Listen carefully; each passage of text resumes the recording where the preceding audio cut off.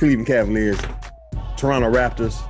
We gotta we gotta talk about this about how Raptors didn't show up. I give you credit. Last episode, you stuck with your guns and said, "I'm I'm taking the uh, Toronto Raptors in Oh, six. God. I said, I'm, I jumped, I dropped it from Cavaliers in six to sweep.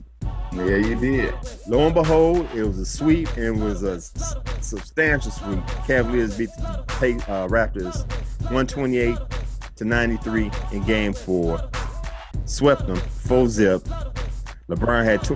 LeBron gonna get his. You can't deny that. He didn't score 40 Right. points, but he had 29 points, 11 assists, eight rebounds. Uh, Cavaliers uh, has beaten the Raptors in three straight playoff appearances, with last two ending in a full game sweep. So you have not beat them two years in playoffs, and you eight, you zero and eight.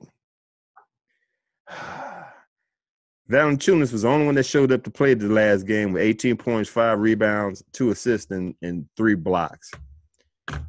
I guess DeMar DeRozan was so frustrated he went on here and got himself ejected from the game. But I have to say that was a that it deserved a flagrant one. It didn't deserve a flagrant two, uh, an ejection. But you just go ahead and let mm. him go to the showers quickly. You know what I'm saying before anything started. I the Raptors mentally not ready. They scared. I ain't gonna say scared. I ain't say they're scared of LeBron. Yeah, they scared of LeBron. I see it. Right. I see it. because you can't sit here and tell me you finished the season with the 59 and 23 record, third best in the NBA behind the Houston Rockets and the Golden State Warriors. You had you the Cavaliers went seven games in the first round against the Indiana Pacers with a Victor Oladipo Mhm. and Lance Stephenson. Your turn to finally slay the dragon, and you kind of just lay down and died in front of LeBron.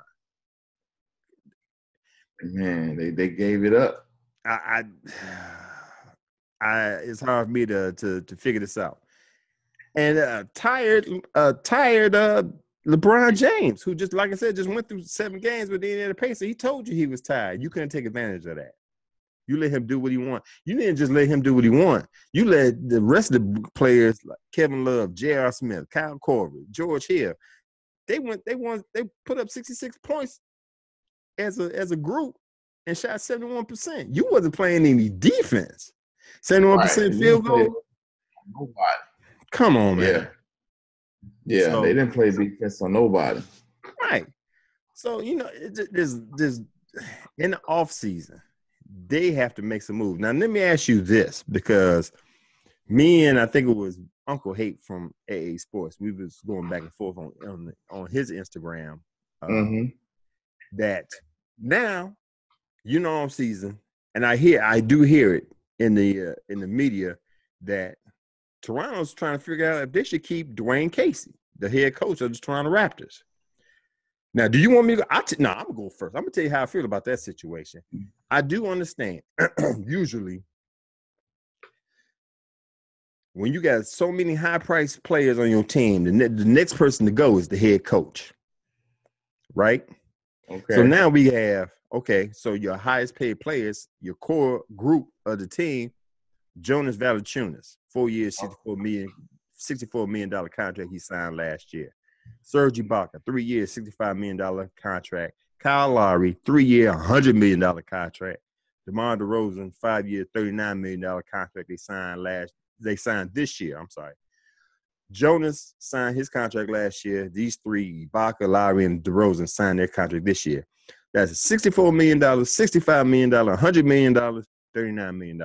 Nobody gonna take take them contracts, especially especially Lowry's and, and DeRozan's. They that's max deals right there that they have right there. So you can't get rid of that. And yes, next thing, next thing to go is the head coach. But this is the head coach that just won Coach of the Year uh, with the with the coaches, um, and just was the head coach in the in this year's All Star game. So you got all these accomplishments, and let me let me run through this real quick. Since he been uh, He's been coaching that with the Raptors since 2011, seven years. They started off 23 and 43. Following year, 34 48. Following year, 48 34. Fourth year, 49 33. Six years, 56 and 26. A little drop in year six, 51 and 31. And this year, 59 23, best record in franchise history. You really want to get rid of the, get rid of the head coach with, with a with a resume like that? Hmm. What you think? Was in that question to me? Yeah, I'm sending that question. Did you get rid of Dwane? Did you get rid of Dwane Casey? Yeah, he What? Yeah, he gotta go. Gotta go. Gotta go. You've been hey, you've been guiding this ship for the last two years. You've been the captain of this ship for this eight, this 0 and 8 journey throughout this this whole thing. You know, like I said, hey, it's just and yeah, don't get me wrong, it's some players over there stealing. Serge Ibaka, he's stealing. You know, it's, just to call out a, a, a couple of them. They they stealing over there. But like you said, you can't get rid of them contracts. Can't get rid of the coach. You know, um, will it make a difference? Probably not. You know, and he is a good coach. He's a good coach, but he's. It doesn't seem like he he can get them mentally to the next level. You know, they got all the talent. All the pieces are there, but something he's not saying or something they're not hearing from him to get them to the next level. So, you know, sometimes, you know, we we experience, you know, we listen to sports a long time or Mhm. whatever, and you know, we've had championship teams here in Chicago, whereas you know, coaches have been fired and boom, somebody else get hired. And, hey, you're in the Super Bowl now, or you're in the NBA championship now, or or World Series. You know, the players, you, you know, you tweak them, but sometimes they their ears grow deaf to what's coming out of the, the the top guys, you know, mouth or whatever, and they need to hear, you know, hear from somebody else, hear the different way or whatever. And that seems that seems to be the problem with Toronto. I'm not saying that the coach now he's not a good coach. We all know that he is. This just may not be the team for him Mm-hmm. and they they seem like they stopped listening. You know, they stopped listening to him. You got DeRozan. You said he he's on the bench in the fourth quarter. He's your best player. He has to get back in this game. I hear I, I know I get it. Where the offense they flowing now without him. You know, this is going back to that last game. They Mhm. start moving. They flowing without him. But so, at some point in time, this guy has to re-enter the game. Mhm. You know, he has to re-enter the game. And we, we we've been fortunate enough where we've been here in Chicago, whatever. We we've seen championship games where the Bulls bench came back, you know, in, in games or whatever, while Jordan and Pippen on the bench.